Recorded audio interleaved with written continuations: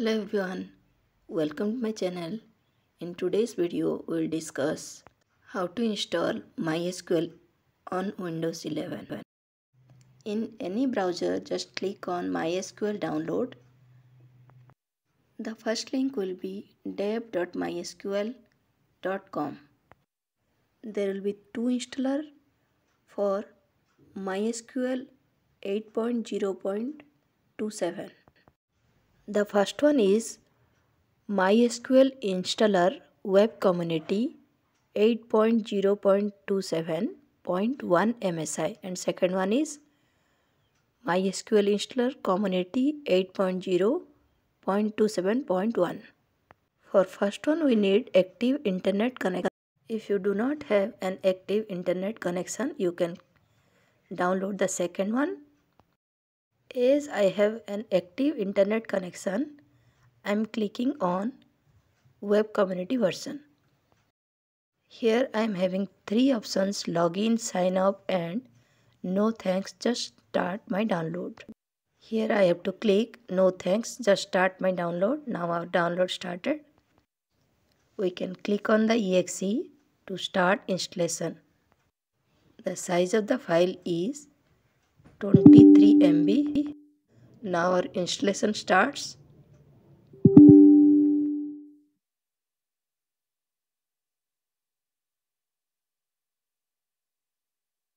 Now we can select the setup type.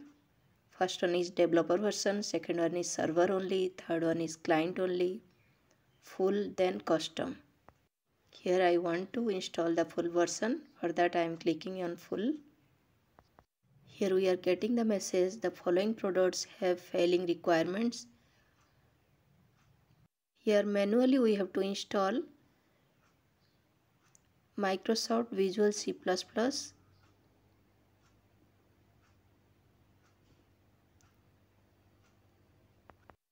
Here we have to install manually the products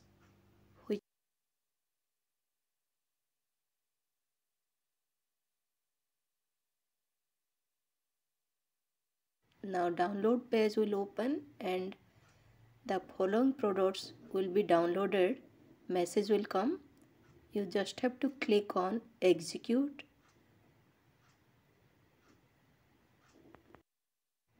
It will take several minutes to download all the products. First mysql server will install then workbench then MySQL Shell, MySQL router, connector ODBC, connector C++, connector J, connector NET, MySQL documentation, samples and examples. For the installation work, you have to wait for several minutes now you can see the green check before each product and status is complete. Now you can click on next page. Now we have to configure each product. We just have to click on next. In server configuration type, I am just keeping the default one. We have to click on next button next page is authentication method. Here you have to click on next only. Now here we have to give the password. We can add users for SQL next page is Windows service. I'm just keeping the default one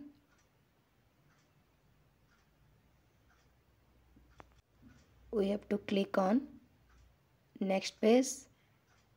In apply configuration we have to execute all configuration steps such as writing configuration file updating windows firewall rules adjusting windows services initializing database starting server applying security setting updating the start menu link you can see the green check mark before each configuration. Now finish button is activated. We can click on finish button to continue. Now click on next button.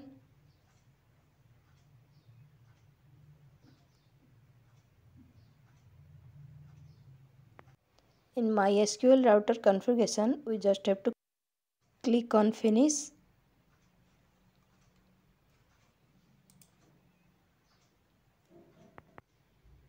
Then in product configuration, we have to click on next. Here we have to give the password we can check the connection now we can execute in apply configuration wizard we just have to click on finish. In product configuration we just have to click on next. Now our installation is complete. We can check. We just have to type some command. In MySQL command prompt just click on windows button. There click on mysql command line client here we have to give the password